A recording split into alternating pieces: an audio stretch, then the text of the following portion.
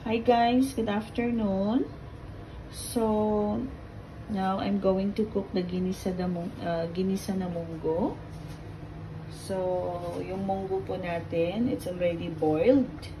So, the maximum it's 20 to 25 minutes. And yung gulay po natin is uh, spinach. But, uh, some, uh, yung iba po, gumagamit po sila ng kangkong, But for me, I prefer the spinach. At saka meron po tayo ditong ampalaya at saka squash. Pangdagdag po lasa yung lemongrass. And then, yung panggisa po natin, we have the the pork ribs po. Yes. Pero depende po sa inyo kung gusto niyo po ng chicken or hipon. But for me, I like the pork ribs. At saka, meron na po tayo ditong garlic, tomato at saka onion for ready na siya sa ginisa. At saka perfect combination po siya ng tuyo sa ginisa na munggo. So guys, ready na po tayo. Magluluto na po ako. Okay.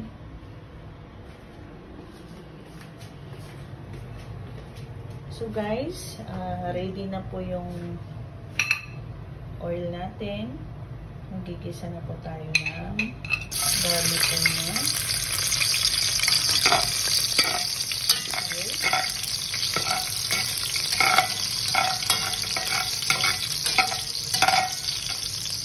Okay, next onion.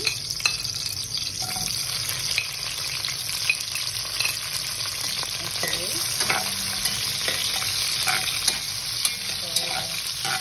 So, golden brown na yung garlic.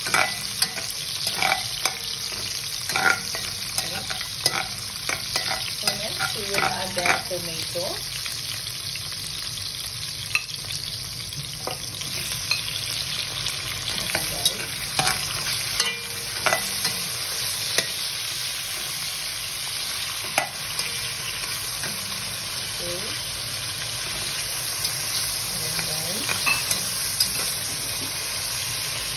Isahin lang natin ito po. Mga 2 minutes or 1 minute lang po. Actually guys, nahugasan natin lahat ng mga yung pork namin ha. At saka yung ano. Ayun guys. Wait lang guys. Okay. Ayan. Ang bango guys. Mmm.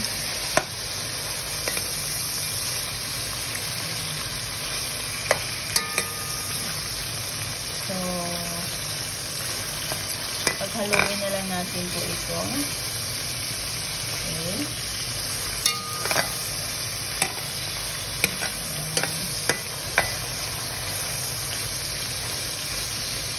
Guys, ang bago.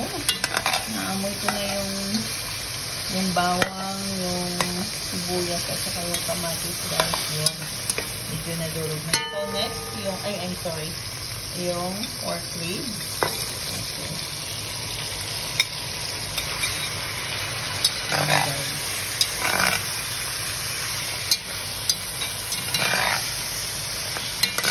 Ayan. So, haluin lang natin. Okay, paghaluin lang natin. Hanggat sa mag-ano po siya. I-mix na muna natin. Okay. Okay, guys.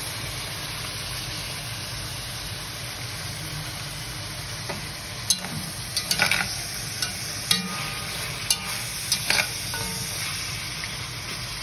ang ginagawa ko guys, hindi na po ako gumagamit ng measuring uh, teaspoon. So, ini-estimate ko na lang paglagay ng ano po, ng asin.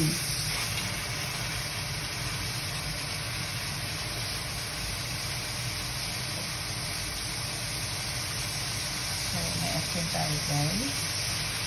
Granulated salt na po. Okay.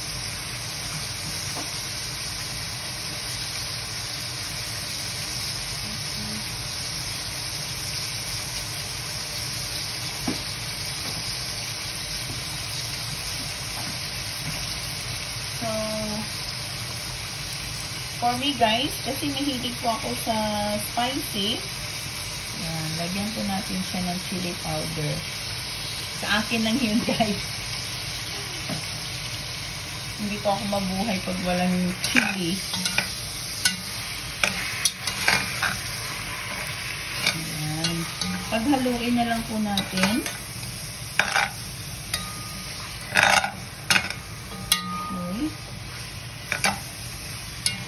Tapos,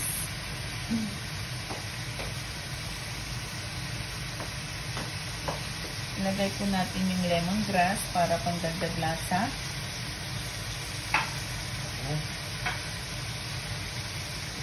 Lasa at bango.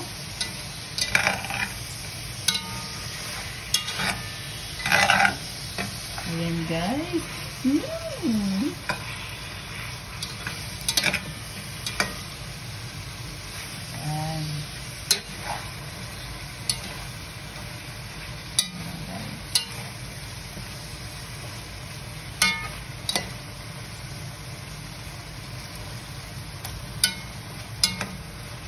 So next, habang kumukulo na, ayan, isabay natin to guys ang kalabasa. Okay.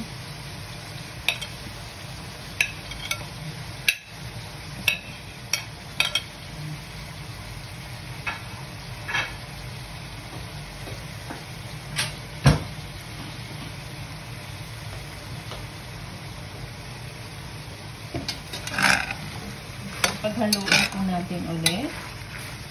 Okay. Kaya tinawag po natin siya na ginisa na munggo.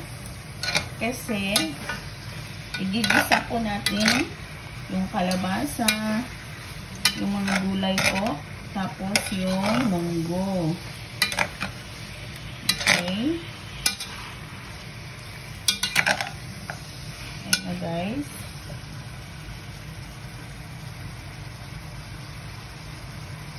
Tapos yung ang.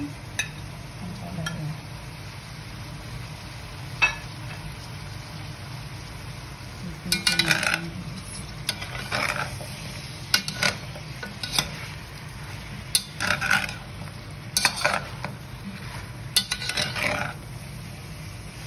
Kasi pag hinalo-halo mo siya guys, mas lalo po siyang masarap. Dahil na-absorb yung ano, lasa. Lahat.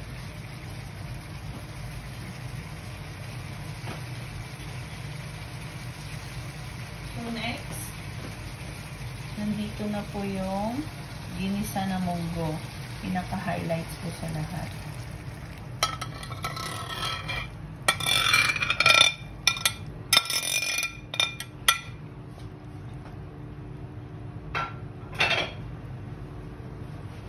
Paghaluin natin ulit. Paghaluin natin siya guys.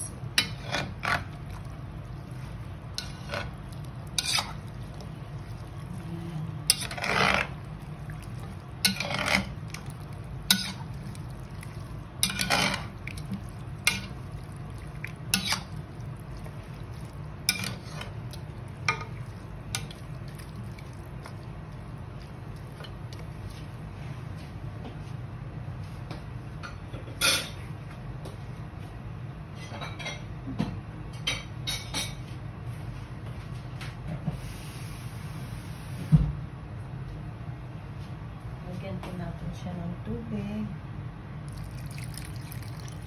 So, mga let's say, uh, mga 2 cups lang po.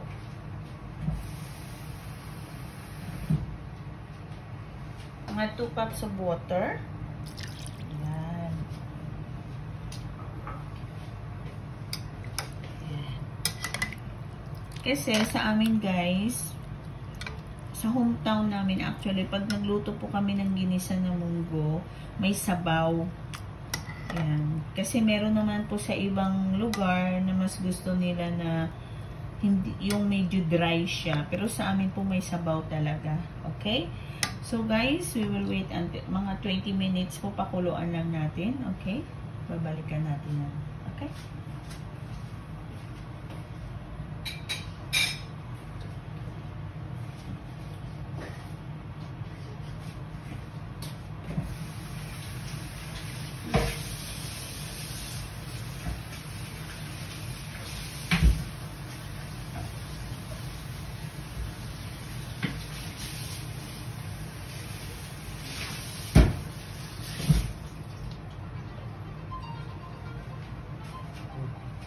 Guys, takpan muna natin.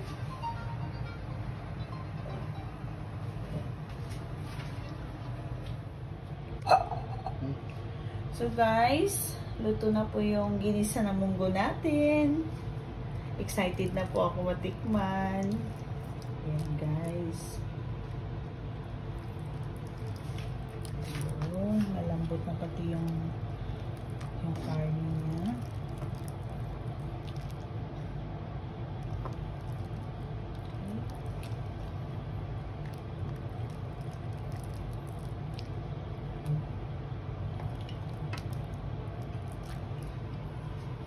Ayan. So guys, ito na po yung yung final natin na ayan. So, the tuyo, okay? The fish tuyo and the ginisa na munggo. Okay guys? Thank you for watching my video. Sana po may natutunan po kayo ngayon kung paano magluto ng ginisa na munggo. Thank you. That's it guys. Ito po yung munggo natin. So mga 15 minutes lang siya. Ilalagay na po natin yung spinach. Okay. Okay. Ayan. Habang nagluluto po tayo ng tuyo, ayan.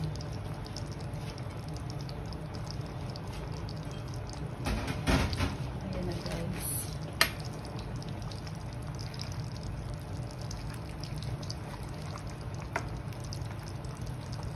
Medyo marami lang siya tingnan ang spinach guys, pero mamaya pag naluto na yan, kaunti na lang yan siya.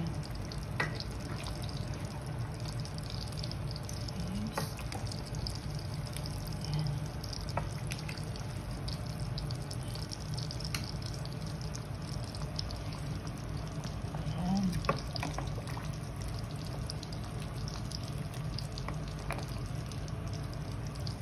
Guys, sobrang sarap po. Ang bango-bango.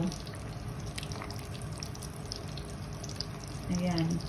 So, pag nagluto po tayo ng munggo, napaka-simple lang po. Madali lang po siya. Ang importante lang po dito, yung munggo. I-boiled muna natin siya. Okay?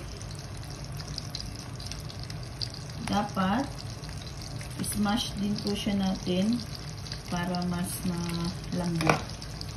Ayan po guys. So, takpan na lang natin ulit.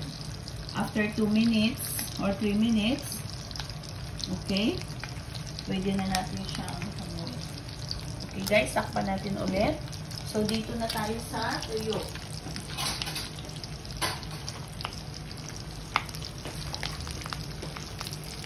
Napakasarap guys ang ano, tuyo.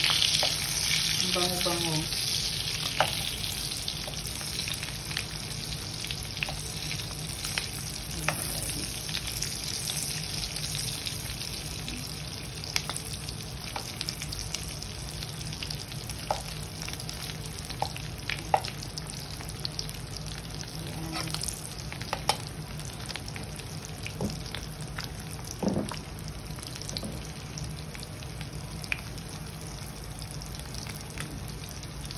Yung tuyo guys, so hindi po natin siyang masyadong i ano, i-toasted.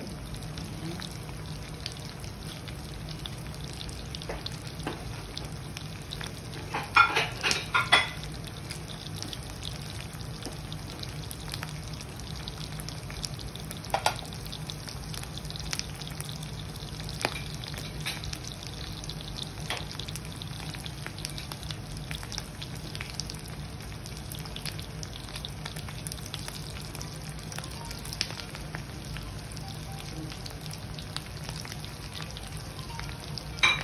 Mm.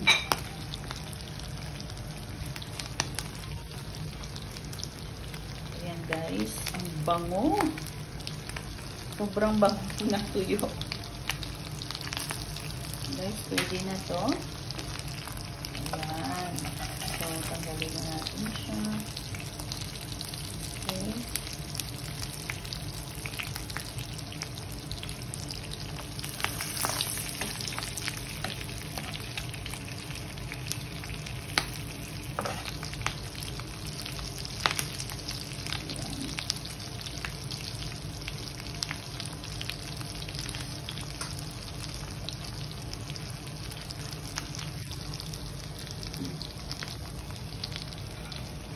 Okay. Ko na guys ha.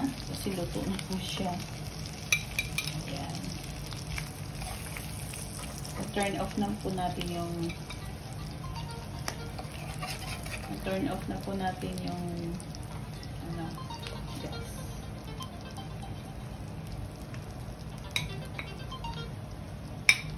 Okay.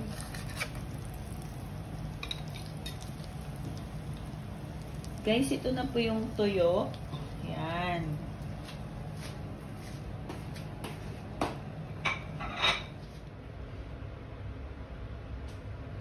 Hi guys, good afternoon.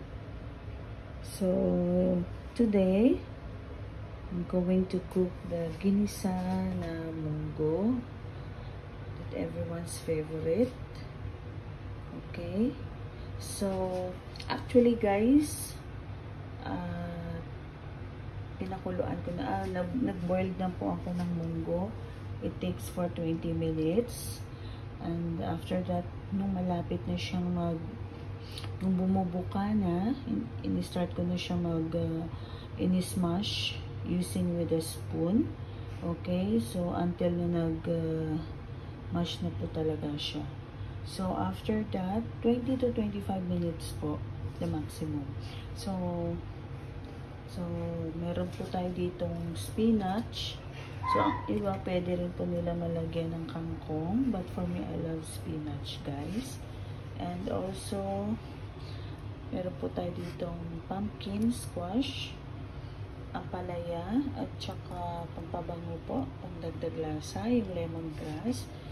At saka, yung sahog po natin, guys, is uh, pork ribs. Yung iba po, depende po sa inyo kung gusto nyo po na merong tuyo, meron pong hipon, depende po sa inyo. Mer meron naman po ibang chicken, okay? Tapos sa gulay po, meron, lang po, meron naman pong talong, pero sa akin, uh, I better to choose uh, palaya and uh, pumpkin. So, the perfect combination for the ginisa ng munggo, guys, I prefer the tuyo. Mas masarap po siya. And, ito po yung mga panggisa natin. Okay? So, we have the garlic, we have the onion, and the tomato. Okay, and the rest. Okay? So, guys, later, magsa-start na po ako mag magluto ng ginisa ng munggo na favorite po ng mga Pilipino. Napaka-nutritious po niya. Okay? Yan. Ito po yung favorite ko. Ang spinach. Yes, masarap po siya guys. Okay naman siya pag kangkong. Pero mas gusto ko po yung ano, yung spinach. Nasa inyo naman po yon. Okay? So later, mag-start na ako magluto. Okay. Bye!